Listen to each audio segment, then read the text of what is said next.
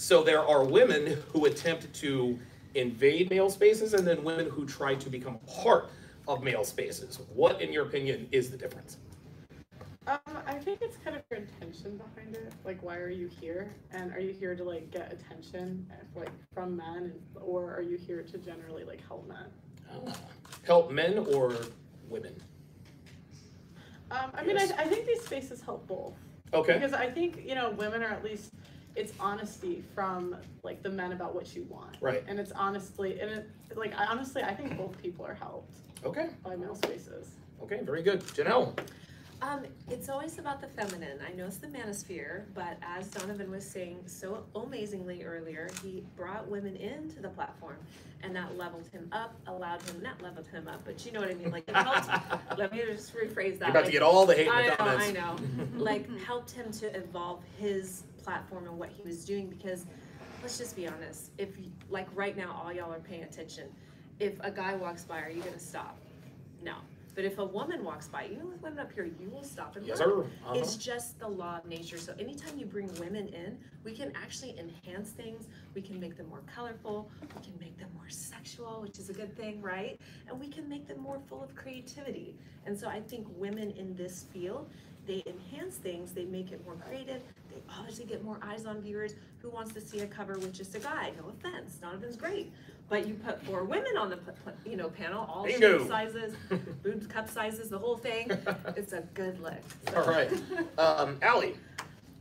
The boys club is just funnier. It's so much better. My gosh, hanging out with women, you know, sometimes can be really stressful for me because uh, they're not as overt with their, with their communication as men, and I've always found that men are more trustworthy. That's just been my particular experience. What? But I served in the military and I got a lot of Oh, assistance there and mentorship from men. And when men have their fill of beautiful young women, well, they don't tend to sexually harass you. They just give you the insights that you're looking for in a professional manner. And I found a lot of that in the manosphere, aside from, you know, my daily giggles.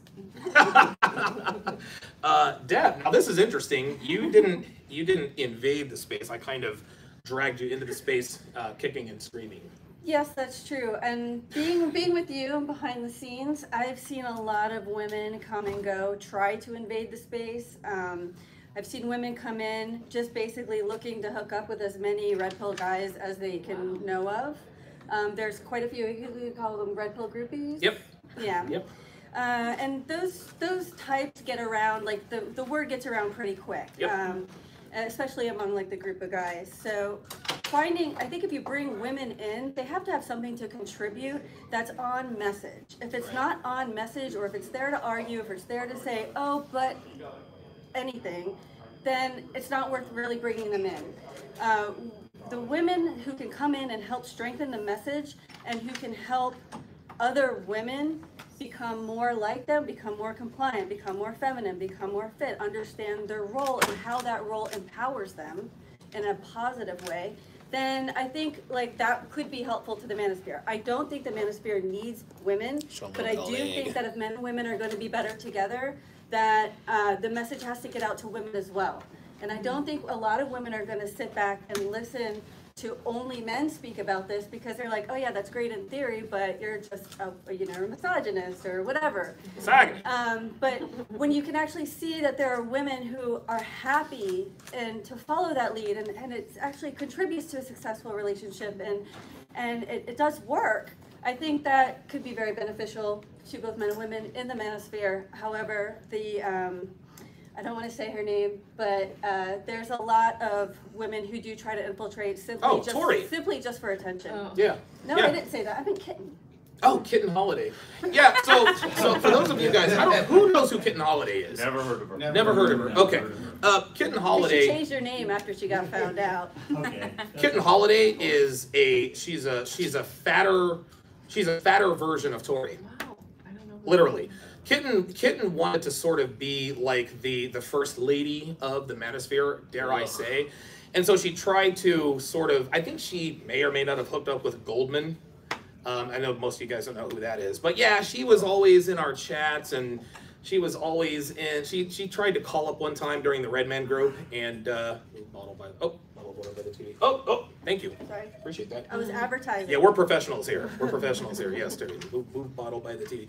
Um, but um, but yeah. Um, that's what I like about this community is that we and and I'm sure that there's still some men in this community who don't exactly trust the intentions of even maybe Dev, right?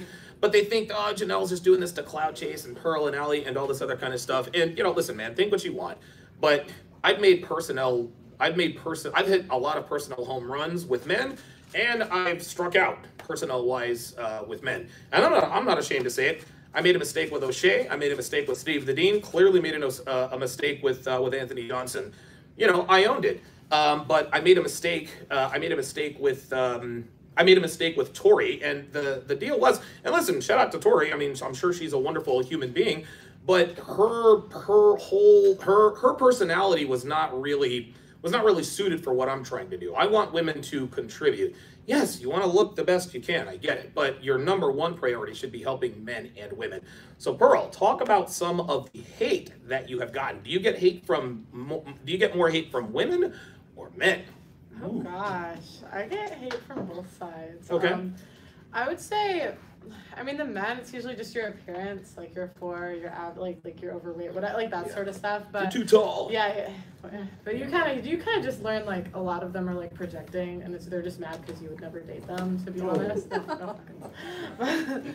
um, but then it's like like That's female nature, guys. Don't worry about it. no, is what it is. no, because some of them. oh, Never mind. No, please, please, No, come no, on, let it I'm out. gonna, I'm gonna keep that.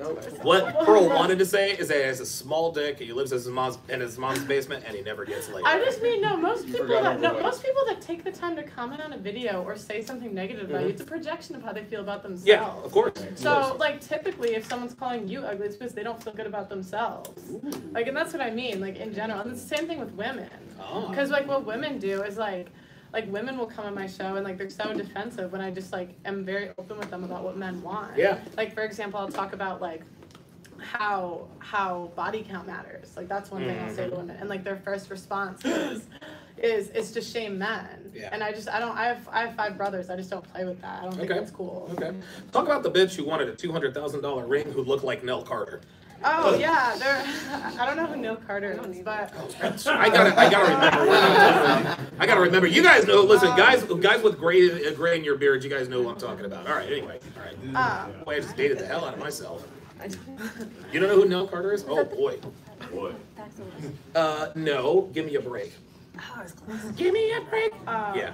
No, but I mean that girl.